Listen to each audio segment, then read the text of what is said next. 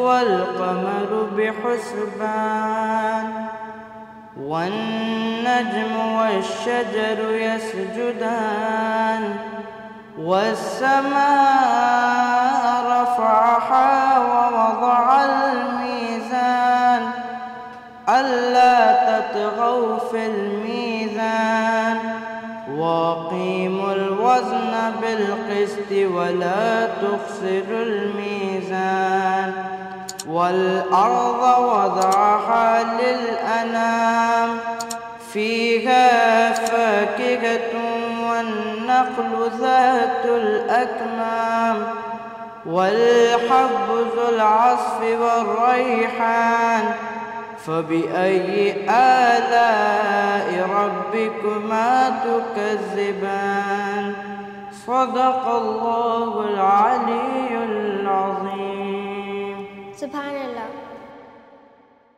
अस्सलाम वालेकुम रहमतुल्लाहि व बरकातुहू मैं हूं आपकी होस्ट सैयद रजा और आपको खुश आमदीद करना चाहती हूँ इतफाल रमज़ान में जहाँ रमज़ान के पहले के दो अशरे में हम खुशियाँ मनाते थे वहाँ तीसरे अशरे में हम गम भी बनाते हैं क्योंकि उन्नीस रमज़ान को मौला अली को ज़रबत लगी और इक्कीस रमज़ान को मौला अली की शहादत हुई आज हम इसी के बारे में बात करेंगे। और हमारे लिए बहुत ऑनर की बात है कि हमारे साथ सैयद वजी हसन जैदी अंकल आज हमारे गेस्ट बने हैं। इनके साथ हम बात करेंगे हमारे अगले सेगमेंट पे। खून पुश्ते सर से जारी था मगर हर बार। हाय जैनब कह के रोए हैदर कर्रा जैसे कि हमने आपको पिछले सेगमेंट में कहा था कि हम आपको वजी अंकल से मिलाएँगे। तो चलिए इनको वेलकम करते हैं। अस्सलाम वालेकुम रहमतुल्लाहि व बरकातुहू। वालेकुम अस्सलाम। कैसी हैं आप? जीती रहिए। अल्हम्दुलिल्लाह आप कैसे हैं? जी अल्हम्दुलिल्लाह मैं भी ठीक हूँ। तो मुझे और हमारी ऑडियंस को आपसे कुछ सवाल करने हैं तो हम कर सकते हैं। बिल्कुल कीजिए सवाल। तो वजी अंकल आप अपने रोज़े में टाइम कैसे स्पेंड करते हैं? रोज़े में टाइम कैसे स्पेंड करते हैं? यार मेरे ख्याल से बेटा बात यह है कि अमूमन लोग रोज़े में सोते ज़्यादा हैं। जिसकी नाइन टू फाइव जॉब नहीं है तो वो सो के गुजारते हैं। और मेरा भी सिलसिला होता है कि मैं सोता हूँ फिर जहर के वक्त उठा जहर पढ़ी और जहर असर के बाद थोड़ा सा कुरान की तिलावत की फिर दोबारा सो गए और फिर अफ्तार से पहले उठते हैं। तो इस तरह से इफ्तार करके? अफ्तार करके तो फिर चलो ये थोड़ा बंदा एनर्जेटिक हो जाता है क्योंकि अफ्तार हो जाता है। तो फिर तो ये है कि शहरी तक जागने का एक हमारे पास मार्जिन होता है। फिर आउटडोर क्रिकेट खेल लिया थोड़ा सा या कैरम खेल लिया इस तरह की चीज़ खेल के बंदा अपना टाइम गुजार लेता है। तो शहरी का वक्त हो जाता है ज़ाहिर है। अब आप जब हमारे शो में आए हैं तो आज के दिन के हिसाब से आप कुछ कलाम सुनाएँ हम्म, बिल्कुल बिल्कुल मैं सुनाता हूँ। माह रमज़ान और फिर उसमें इक्कीस रमज़ान मौला मीर की शहादत का दिन। तो मैं नाजरीन को भी जो लोग हमें देख रहे हैं उन सब की खिदमत में भी, बल्कि उनकी तरफ़ से मौला मीर की बारगाह में चंद मिसरे नज़र करता हूँ।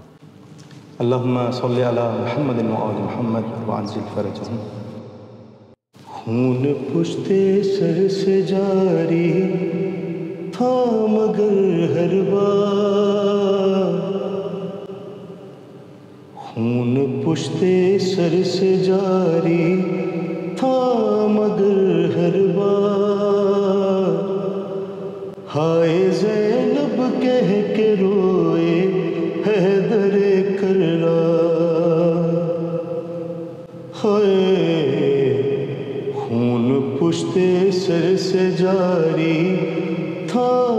मगर हर बार हाय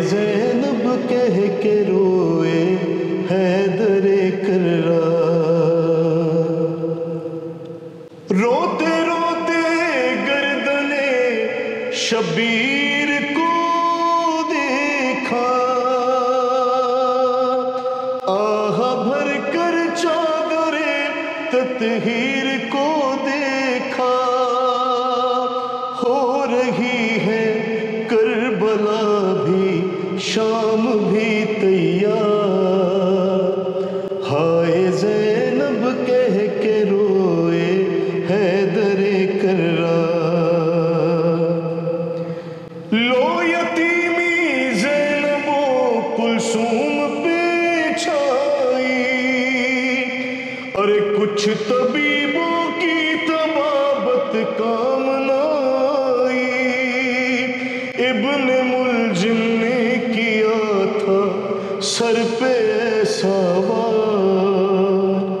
हाय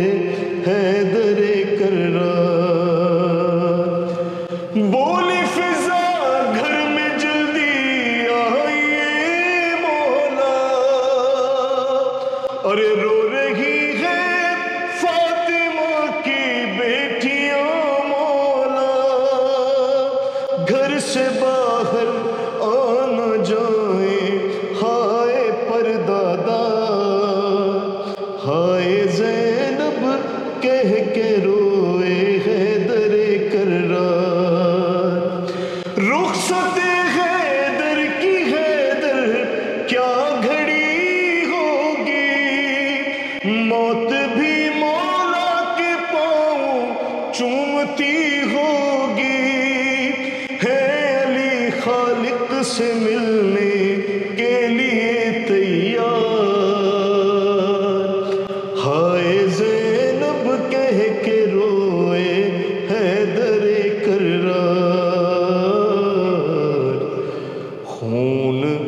पुश्ते सर से जारी था मगर हर बार। हाय जैनब कह के रोए हैदरे कर्रार। अल्लाहुम्मा सल्ली अला मोहम्मद व आले मोहम्मद। वअज्जिल फरजहु सुबह अल्लाह जी अंकल आपकी आवाज़ बहुत खूबसूरत है मौला आपकी आवाज़ में और तासीर अता फरमाए। तो अब हमारे आपसे और भी सवाल है। तो आप नौहे की प्रैक्टिस कब करते हैं? उसकी कैसे करते हैं? देखो बेटा सैदा बात यह है कि अब तो अ, एक ज़माना गुजर गया पढ़ते हुए। अल्हम्दुलिल्लाह बेहक अब अब्दुल्ला ज़ाहिर है एक एक तवील अरसा गुजर गया। मौला अ, के दर से मुंसलिक हुए हुए और मौला की इस नौकरी को करते हुए। तो अब तो वो माम, मामला है कि मतलब हमारा पढ़ना ही हमारे लिए प्रैक्टिस होती है। अब कोई प्रॉपर टाइम देकर या प्रॉपर तरीके से बैठना और फिर किसी किसी भी चीज़ की प्रैक्टिस करना तो वो अब थोड़ा सा मुश्किल होता ज़ाहिर है। टाइम फिर फैमिली फिर और भी बहुत सारे काम। तो हम अब बस ये करते हैं कि जब हमें रिकॉर्डिंग करनी होती है, अब तो रिकॉर्डिंग का ही बल्कि सिलसिला ये हो गया है कि हमें एक एक दो दो कलाम करने होते हैं रिकॉर्ड तो बस उससे पहले जो हमें थोड़ा बहुत टाइम मिलता है हम अपने घर पे या स्टूडियो पहुँच के उसको एक आध दफ़ा दोहरा लिया उसको देख लिया। बस वही हमारी प्रैक्टिस होती है। और वो वाली इंग्लिश में एक, एक बड़ी अच्छी कहावत है ना कि प्रैक्टिस मेक्स मैन परफेक्ट तो बस वो जो है उसी पे अमल कर रहे हैं। पढ़ते रहते हैं पढ़ते रहते हैं वही हमारी प्रैक्टिस होती है। अच्छा। तो आप बहुत ज़्यादा लाइक बैक टू बैक पढ़ते होंगे। तो आपका गला सूख जाता होगा आप उसको कैसे मैनेज करते हैं उसके? देखो सैदा तुम्हें याद होगा तुम्हारे बचपन में ऐसा अमूमन होता है कि बच्चों को उनकी जो अम्माएँ होती हैं अम्मियाँ जो होती हैं हमारी तो वो बच्चों के विक्स लगाती थी गले पे नोज़ पे सीने पे जब गला ख़राब होता था। तो मैं आज भी इसी अमल पे जो है वो इसी अमल की मैं एक्चुअली पैरवी करता हूँ और मैं रात में अपने विक्स लगाता हूँ। नोजल्स पे। विक्स लगाता हूँ आपका गला खराब हो के नहीं अगर गला ख़राब अव्वल तो हो या ना हो लेकिन मैं इस अपना प्रैक्टिस को डेली करता हूँ। विक्स लगाता हूँ जो शानदार पीता हूँ और कोशिश करता हूँ अगर वेदर थोड़ा सा जो है वो ठंडा है या खुश्क है ड्राई वेदर है तो मैं उसमें इसकी हिफाजत करता हूँ। यानी कि इसको लपेट के रखता हूँ किसी भी चीज़ से ना ताकि ये सेफ़ साइड रहे। अगर कहीं बाहर जाता हूँ पढ़ने इराक हो गया या फिर और किसी कंट्री तो वहाँ पे भी इसकी हिफाजत मैं ऐसे ही करता हूँ अप्रॉक्स और सुबह उठ के गर्म पानी पीना ये भी सबसे इम्पोर्टेंट चीज़ है। तो ऐसे हम अपने गले की हिफाजत करते हैं। आप कितने साल के थे जब आपने प्रॉपरली स्टार्ट किया था पढ़ना? हाँ, बस अप्रॉक्स समझो तुम्हारी एज का ही होऊँगा मैं। हाँ इसी एज का था बेटा बात यह है कि मेरी नानी मरहुमा यकीनन जनाब सैदा के जवार में होंगी वो ख़ुद भी एक जाकिरा थी और ख़ुद भी बहुत अच्छा पढ़ती थी वो। तो बस उनको एक शौक़ था और, और उन्होंने वो शौक़ मेरे अंदर मुंतकिल करने की कोशिश की बल्कि काफ़ी हद तक कामयाब भी हुई वो। उन्हीं की बदौलत मैं आज एक जाकिर हूँ मौला का ज़िक्र करता हूँ क्योंकि उन्होंने मुझे एक्चुअली सिखाया। उन्होंने मुझे बताया कि इस इस तरीके से पढ़ते हैं और इस तरीके से इसकी बंदिश होती है। और इस अंदाज से इसकी अदायगी होती है। तो उन्होंने ही पढ़वाया और मैंने सबसे पहली महफ़िल जो मैंने लोगों को फेस किया, ये बहुत ज़बरदस्त बात है। तुम्हारे लिए भी और जो बच्चे हमें देख रहे होंगे, उनके लिए भी। तो हम लोग जा रहे थे एक्चुअली खैरपुर और वहाँ पे तीन रोदा उस वक़्त जश्न था और उसके अंदर बड़े बड़े पढ़ने वाले अल्लामा इरफान अदर आबदी साहब आल्ला मकाम और अबरार भाई हमारे, मुख्तार भाई और बहुत सारे लोग थे। तो मुझे मेरे नाना ने यहाँ से एक कलाम याद करने को दिया कि तुमने ये याद करना है और खैरपुर में तुमने इसको पढ़ना है। मैंने यहाँ से तो याद किया वो कलाम लेकिन जब मैं खैरपुर में पहुँचा हूँ और ट्रेन स्टेशन पर उतरा तो मुझे वो कलाम नहीं याद था। आप भूल गए तो आपने वहाँ पे पढ़ा कैसे? हम्म ये है क्वेश्चन पढ़ा कैसे? फिर मैंने पढ़ा इसको ऐसे कि मेरे जहन में उसकी जो भी मुझे ट्यून याद आ रही थी कुछ पिछली कुछ अपनी वो मैंने मिक्सर करके उसको अल्हम्दुलिल्लाह मेरे मौला का बड़ा करम रहा कि मैंने उस कलाम को पढ़ दिया। और इंपॉर्टेंट चीज़ है कि मेरा नाना भी मुझसे खुश रहे कि इसने मेरी बताई हुई चीज़ को अच्छे से याद किया और इसने पढ़ लिया। तो एनी हाउ मकसद कहने का ये है कि वो कलाम अच्छा हो गया और मतलब उस एज से पढ़ रहा हूँ उस एज से मैं लोगों को मैंने फेस किया और आज तुम लोगों के सामने उस दिन कुछ सीखा उधर से? बिल्कुल बिल्कुल। उस दिन नहीं सीखा एक्चुअली मैं आज तक सीख रहा हूँ। आज तक सीख रहा हूँ और बल्कि इसमें मुझे कोई वो नहीं है अपना इसको इसको कहने में मुझे कोई प्रॉब्लम नहीं है कि हो सकता है कि मैं अपनी कब्र तक सीखता रहूँ। क्योंकि ये जो आपका टाइम पीरियड है ये सीखने का ही है। आप जितने भी बड़े हो जाएँ जितने भी अच्छे पढ़ने वाले हो जाएँ लेकिन आई थिंक कि कोई ये कह नहीं सकता कि मैं मिस्टर परफेक्ट हूँ हम्म, नहीं कह सकता वो सिर्फ़ ज़ात अल्लाह और आल मोहम्मद की है।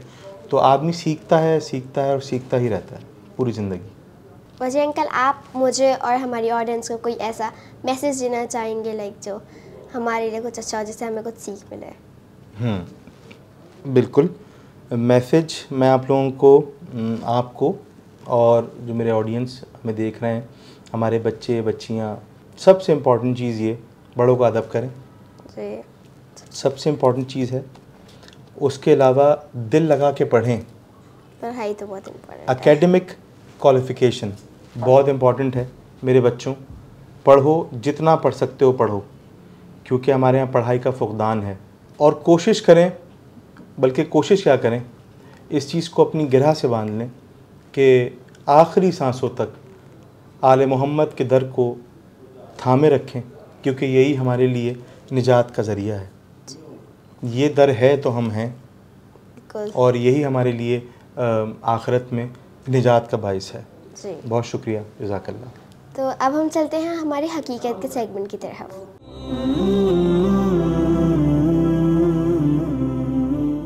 बिस्मिल्लाहिर्रहमानिर्रहीम। आज के हमारे हकीकत के सेगमेंट का टॉपिक है हर हाल में अल्लाह ताला का शुक्र करना चाहिए एक दिन बख्त नसर ने हज़रत दानियाल को गिरफ़्तार करके अंधेरे कुएँ में डाल दिया और साथ ही दरिंदा भी वहाँ छोड़ दिया और ऊपर से कुएँ का दरवाज़ा बंद कर दिया।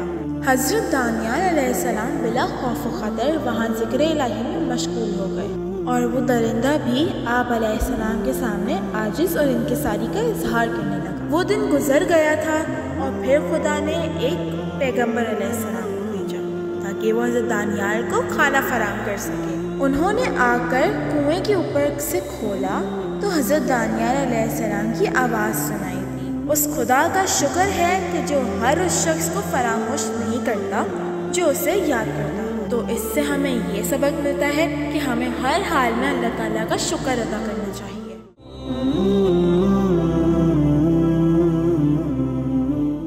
थैंक यू आप इधर आए और हमें एक मैसेज एक लेसन दिया। Thank you so much once again ये पंजतन तबुकरात सेंटर से। थैंक यू बेटा जीती रहिए जीती रहिए। जाते जाते आप एक कलाम सुना सकते हैं तो। बिल्कुल मैं साहिब असर की बारगाह में अल्लाह महमद महमद वाजिल फ़रज हूँ। तो बस मौला की खिदमत में दो तीन शेर नज़र करता हूँ। आपकी तरफ़ से भी और तमाम हाजरीन नाजरीन जो देख रहे हैं उन सब की तरफ़ से। ऐसा है मेरी है ये आरज़ू। ऐसा है बज़मा मेरी है ये आरज़ू। या कनस्ताइन पढ़ूँ तेरे रूबरू। या कनस्ताइन पढ़ूँ तेरे रूबरू। ऐसा है बजमा मेरी है ये आरज़ू।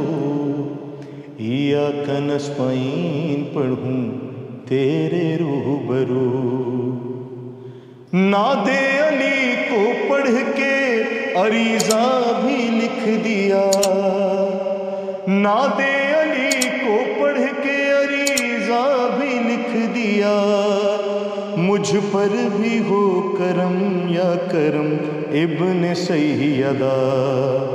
कुछ दे मेरे मौला, तू कर मुझसे गुफ्तगू।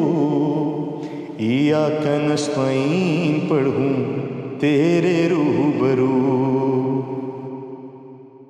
फर्शे अजा पे बैठे हैं, हुबदार आपके। सब मुंतजर हैं आपके दीदार के लिए।